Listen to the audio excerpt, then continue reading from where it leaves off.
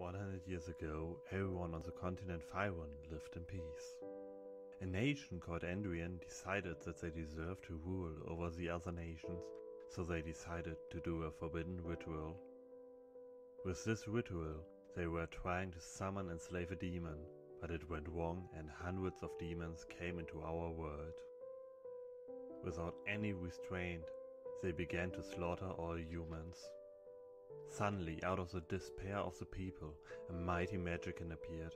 He concentrated his power, separated the last free piece of land, and sent it out to sea to protect the last remaining humans.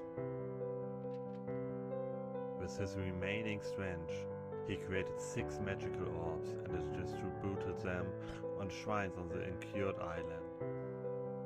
These orbs created a powerful magic barrier that no demon should ever